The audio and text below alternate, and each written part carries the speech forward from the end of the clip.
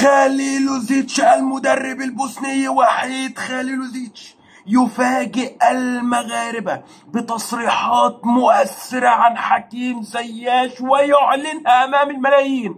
أخطأت في حق زياش كثيرا وسأذهب إلى لندن لإحضاره بنفسي إلى منتخب الأسود منتخب أسود الأطلس. تفاصيل نارية تفاصيل حصرية مش هتشوفوها تماما إلا من خلال قناتكم زياش and حكيم lovers. فعلشان كده انزل بقى ساعد الحلقة دي في الانتشار أكتر وأكتر بلايك للفيديو وانضم لينا. انضم لعيلتنا زياش and حكيم lovers وفعل زر الجرس ويلا بينا إلى التفاصيل.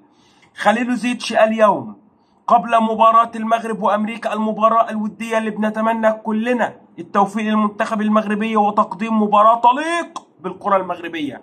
خليل زيتش أكد بأنه سيذهب بعد انتهاء مباراتي جنوب إفريقيا وليبيريا في تصفيات كأس الأمم الإفريقية المقبلة سيذهب بعد انتهاء المباراتين إلى لندن لعقد جلسة تاريخية لإقناع حكيم زياش بالعودة إلى المنتخب المغربي.